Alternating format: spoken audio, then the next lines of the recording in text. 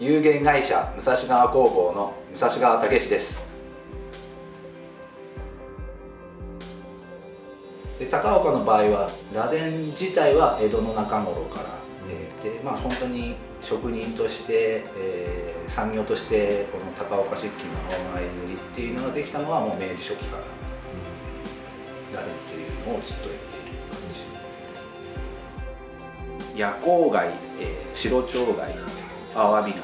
大体3つぐらいの材料を使ってますけど9割方アワビをよく使います、えー、こここういう形に裁断したものを、えー、両面ひたすらこの皮とかを研磨し続けて、えー、厚み、えー、これですね0.1ミリぐらいの厚みまで研磨します。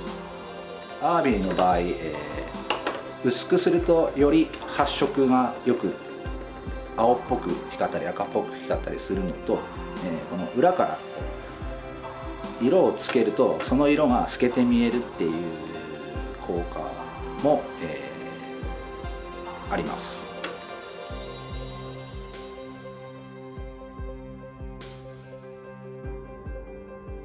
極限まで薄くすることによって、えー、貝本来のすごい、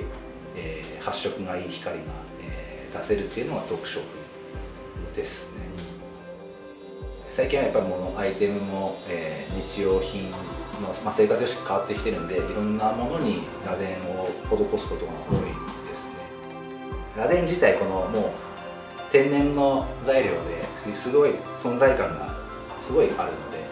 えー、そういう技術を、えーまあ、触れてもらって、えー、見せれたらいいなと。